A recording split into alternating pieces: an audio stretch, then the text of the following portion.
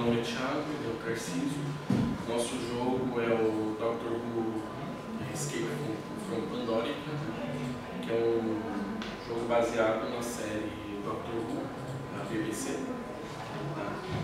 É, até agora a gente desenvolveu basicamente a, a base do, do jogo, os modelos estão prontos, a, a sala está tá modelada, né? E a gente fez a uma obra de arte. Tá? Então, é, a gente teve um problema no começo do projeto, era planejado para fazer o WebGL, mas o, os modelos acabaram ficando elaborados demais e passou a valer mais a pena é, na Unity. A gente acabou migrando para a Unity.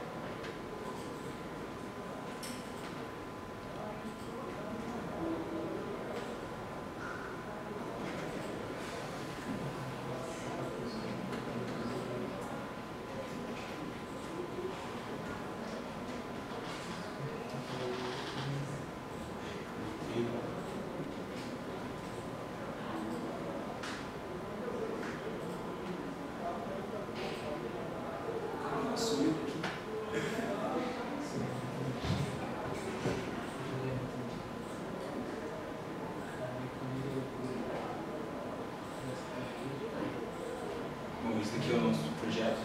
É, a sala eu modelei. O Doctor ele já anda para todos os lados. Tem um sistema de rotação, tem uma mira, você usa o mouse. É, ele também tem um sistema de Recast para ele reconhecer objetos que ele vai poder interagir, como por exemplo a porta. Só que não tem como ver né, porque ainda não tem nenhuma interação, mas ele é com o Recast, ele volta com o nome do objeto, você consegue interagir dependendo do que for. É, aqui temos os modelos dos, de alguns dos inimigos, dois deles. Aqui tem o modelo da nave espacial dele, que é a TARS, que é a cadeia de polícia. A gente teve uns, alguns problemas com a física da sala, porque ela era toda separada em diversos é, polígonos. Daí a gente teve que mudar um pouco o sistema de contato dela. Não, ele não clica Agora ele está certo, ele consegue subir e descer escada certinho.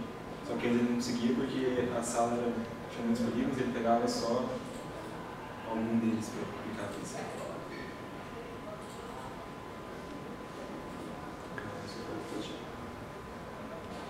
Os personagens vocês modelaram do zero ou vocês pegaram eles da internet? A gente pegou esses mais complexos. A sala eu modelei.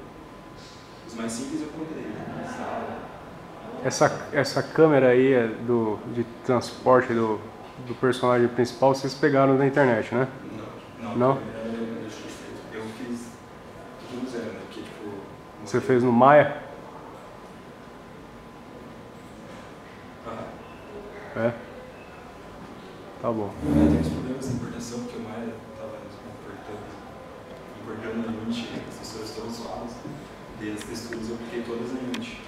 E, tipo, eu modelei no Ma- no Maya e apliquei as texturas na Unity.